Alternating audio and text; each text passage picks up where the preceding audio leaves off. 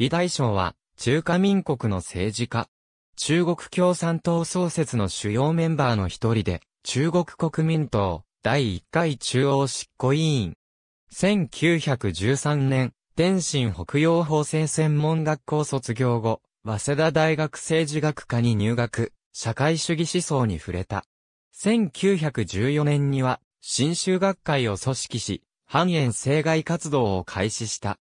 翌年、大化21箇条要求が出されると、留日学生名義で、全国の不老に警告書を発表し、中国人に対し、袴、陳船の決心で日本に抵抗する、要啓蒙活動を行っている。1916年5月に帰国し、北京で、明日金法を創刊し、編集長に就任している。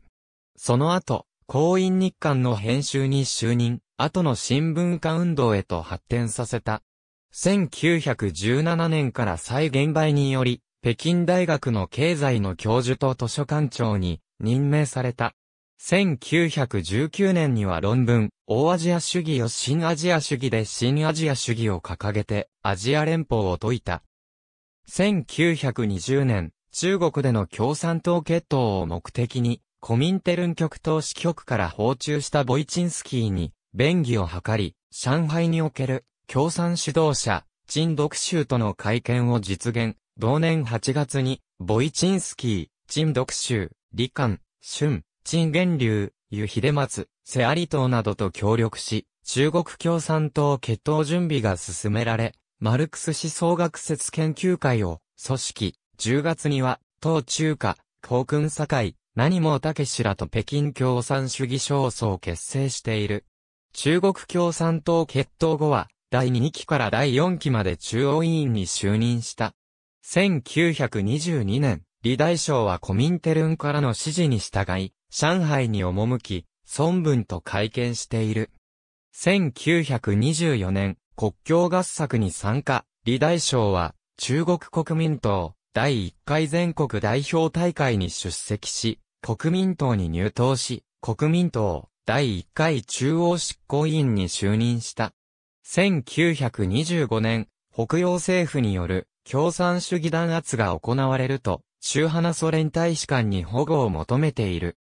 1927年3月南京事件が北京へ波及することを恐れた列強は、南京事件の背後に共産党とソ連の策動があるとして、日英米仏など7カ国外交団が厳重かつ、叱るべき措置を取ることを暗黒軍総司令部に勧告した。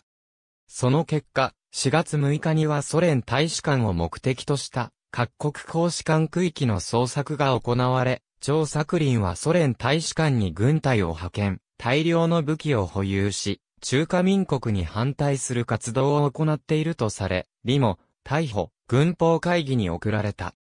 軍法会議では1名を除いた19名が、4月28日、ソ連と和し、外国に通報しているという罪で、公主刑に処された。李大将処刑後、死体は、北京加山万安公墓に埋葬された。1983年には、万安公墓に隣接して、李大将列資料園が設置された。李大将の長男の李茂家は後に、中華人民共和国の要職につき、中国人民銀行行長に就任した。長女の理性化は作家になった。ありがとうございます。